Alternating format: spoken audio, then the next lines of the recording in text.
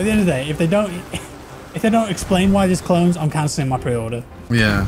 It's really the principle of the thing. Yes. Did you get him? Hey.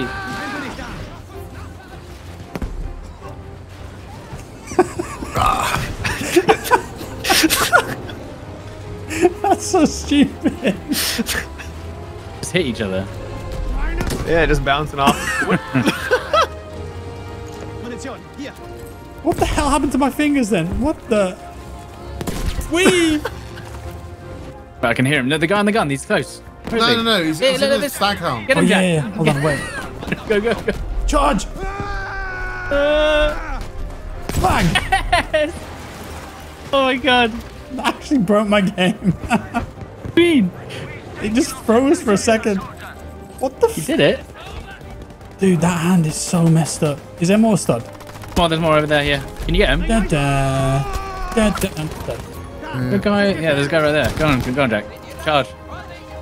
Get him, Jack. Da da. Where is he? Bang! You get him? Yeah. Yeah, he I did. couldn't see him. It's the same guy, Major Hazard. He's killed him twice.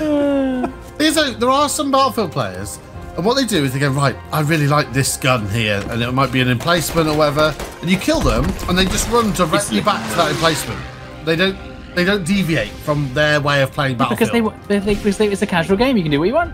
Remember fun? BF5. Don't really think I'm going to be playing much more of this, to be honest. With 2042 coming out in the next couple of weeks, COD Vanguard, new Warzone map, Halo Infinite, among a load of other stuff, I'm sure. Big surprises on the way. I just don't see it being in the regular rotation of games that I play. And to be honest, I haven't really touched BF5 for a few weeks anyway. Saying that though, this game is still incredibly popular.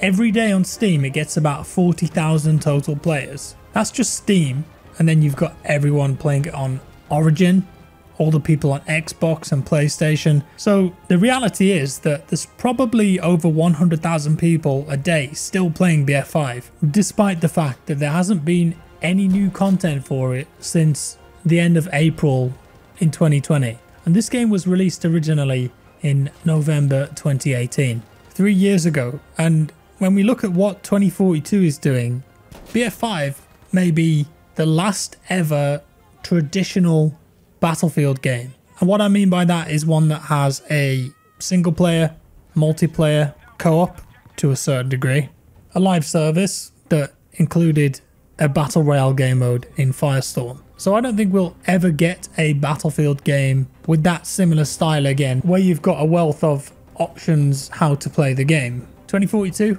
multiplayer only. Battlefield's doing what it does best. And I'd hazard a guess, looking at the industry and the competition right now, that the next Battlefield game will be free to play and multiplayer only. I feel like that's an inevitability at this point. So BF5 for me is almost the last of its kind, if my assumptions are correct. And I definitely had some fun with this game. Big fan of the gunplay, I've always said that. They introduced some really interesting movement mechanics in this too. Fortifications, some saw it as a gimmick, some really enjoyed it. I never really used it that much, but I would always see people building stuff. But the most thing that I built was an invisible staircase into the sky that almost killed me in real life. The soundtrack in this game as well. Oh, phenomenal. I sometimes just load up the Spotify playlist when I'm doing a boring task, editing, accounting, whatever it might be, and it just stirs me on. There are so many amazing tracks on this, and it was put together by Johan Söderqvist and Patrik Andrén. The BF main theme, brilliant. And then you've got some triumphant tracks that play in the background when you're about to win a game of breakthrough.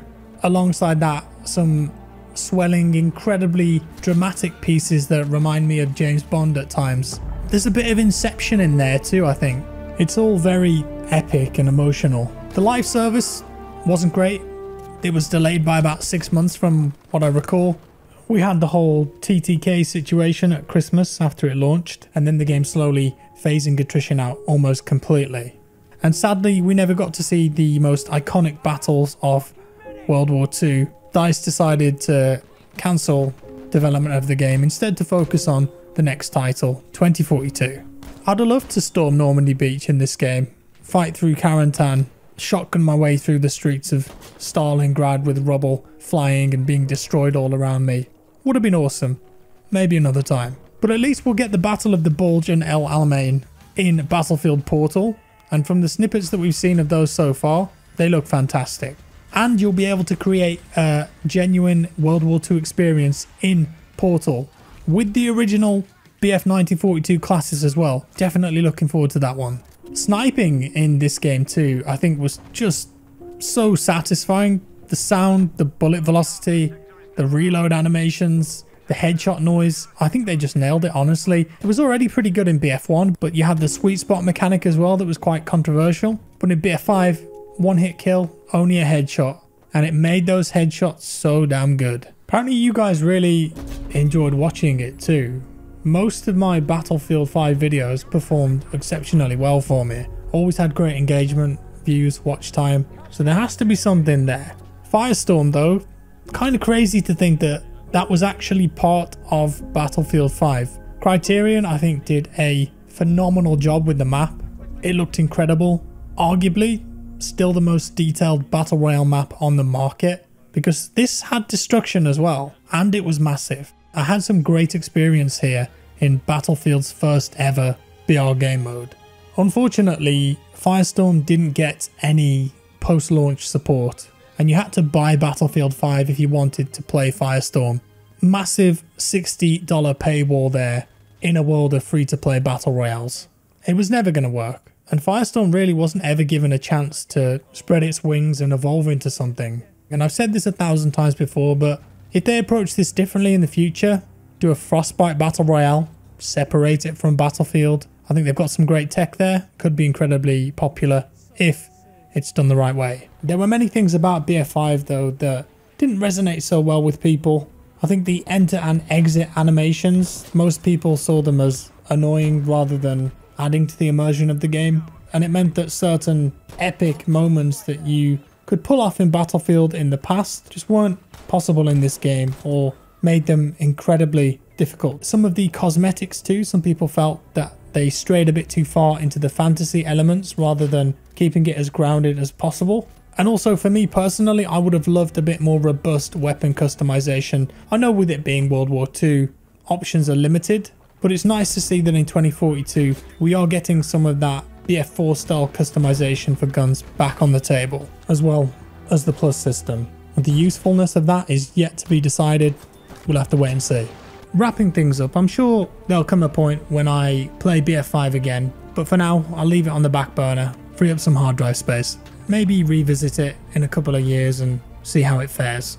With that said, thank you for watching guys. Let me know your thoughts on BF5 down in the comments below. Are you still playing it? Have you stopped completely or never really played it at all in the first place?